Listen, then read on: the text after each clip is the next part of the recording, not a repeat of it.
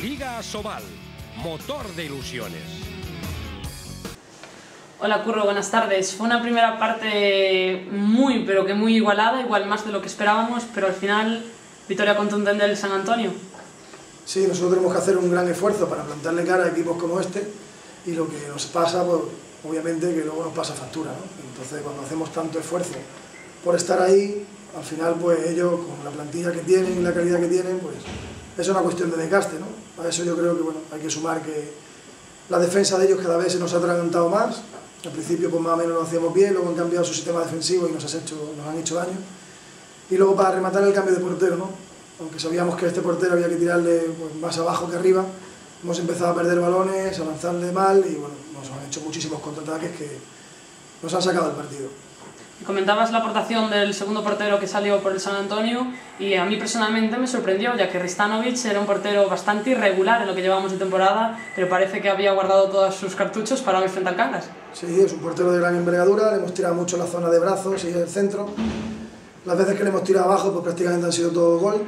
Entonces, bueno, creo que no hemos sabido adaptarnos al cambio de portero, también ayudado por la defensa, ¿no? Portero. Yo creo que ellos han dado un plus en la intensidad defensiva, creo que el 5-1 que han hecho con, con Jurkevic avanzado pues nos ha hecho daño y bueno, yo creo que ahí ha sido donde ellos han roto el partido, ¿no? Minuto 7-8 la segunda parte. De todos modos, también una de las jugadas claves del encuentro pudo ser una de las últimas acciones de la primera parte, en la que el Cangas tenía el balón para empatar y que al final, después de una decisión arbitral, fue el gol de ventaja que llevó el, San Antonio para descanso. Yo ya estos árbitros nos pitaron en Valladolid, le dije a los jugadores que yo no pensaba hablar con ellos porque después del arbitraje de Valladolid, pues compruebas que es mejor no hablar, así que seguiré opinando lo mismo, mejor no hablar, pero que en un lado eran dos minutos, en otro lado era golpe franco, ni siquiera siete metros, ¿no? Entonces, bueno, de eso mejor no comentar porque el respeto hay que ganárselo y nosotros pues todavía no nos hemos ganado el respeto a los árbitros ni creo que no lo ganemos. Comentábamos últimamente que parecía que al Cangas le faltaba afinar en, en ataque. Hoy la primera parte, no hay duda, quizá nos costó más en la segunda. Sí, ya te digo, Dodera está muy bien en la primera parte, nos ha dado mucho oxígeno, no hemos hecho, no hemos hecho nada de juego por los extremos, eso también ha hecho que las primeras líneas nuestros se fueran desgastando y al final pues, nos ha pasado factura. ¿no? Las primeras líneas nuestros al final pues, estaban más cansados y yo creo que no tener juego con la segunda línea nos, nos, perjudica muchísimo, incluso con la defensa que ellos nos han hecho la segunda parte. No hemos tenido opción de finalizar por los extremos y por el pivote. Al final todo el peso del ataque y la defensa recae en los mismos jugadores y físicamente eso se nota.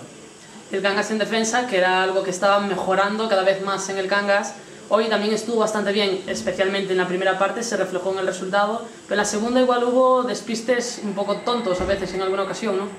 Yo creo que la mayoría de los goles han sido de contraataque, por errores nuestros en ataque, por pérdidas de balón y por lanzamientos fallados. Luego hemos apostado por cambiar la defensa 5-1 sobre Rueca y bueno, ellos la han atacado bien y hemos intentado cambiar defensa para intentar recuperar un poco el ritmo de partido que se nos estaba yendo, pero bueno, creo que como te decía, yo creo que los fallos en ataque una vez más pueden con nuestra defensa y cuando vamos fallando en ataque tenemos que darnos cuenta que el partido se gana en defensa y al final terminamos perdiendo los partidos por los fallos en ataque la defensa termina bajando los brazos y al final, pues bueno, en vez de perder de una forma más normal, que pueden ser 5 o 6 goles, al final pues siempre pasan de 10 y nos ha pasado varios partidos, que yo creo que el esfuerzo que hacemos no es para terminar perdiendo tantos goles. ¿no? Y comentabas ese 5-1 sobre Ruesga, pero también en ocasiones se planteó en la primera parte sobre Malmagro. Sí, cuando éramos uno menos, cuando ellos, perdón, eran uno menos, salíamos a defender 5-1 sobre, sobre Malmagro, la verdad que nos ha dado muchos robos de balón, pero bueno, yo creo que era circunstancial porque éramos uno más y nos ha salido bien algunas veces, menos en un par de ellas que hemos tenido algún error. Pero bueno, ya te digo, ellos tienen una plantilla amplia, van rotando y al final el cansancio de nuestros jugadores y la frescura de ellos pues hace que ellos lleguen como motos al final. ¿no? Kosanovic un día más aportó su granito de arena e incluso Kevin, a quien le diste unos últimos minutos, también parece que te está pidiendo a gritos más confianza en él. Sí, bueno, como pasó en el último partido, creo que Kevin, como comenté, se merece tener oportunidades, ¿no? Es un jugador que entrena, que, es un jugador que no da ningún problema, que se esfuerza como el que más y obviamente los jugadores también tienen que tener recompensa para que les merezca la pena seguir trabajando, ¿no? Y si encima es un jugador de la casa, pues para mí tiene más motivo todavía para, para esa recompensa. Con respecto a Kosanovic, pues bueno, va de lo mismo, ¿no? Cuando la defensa va bajando los brazos, el portero cada vez va, va parando menos. Y bueno, yo creo que al final había lanzamientos que él no podía hacer nada porque llegaban muy fácil a los lanzamientos ellos y bueno, creo que como te decía es más de lo mismo, cansancio y un poco impotencia de ver que como en ataque no saben las cosas, la defensa termina bajando. ¿Y qué decimos de esos 10 goles de Borutoslak?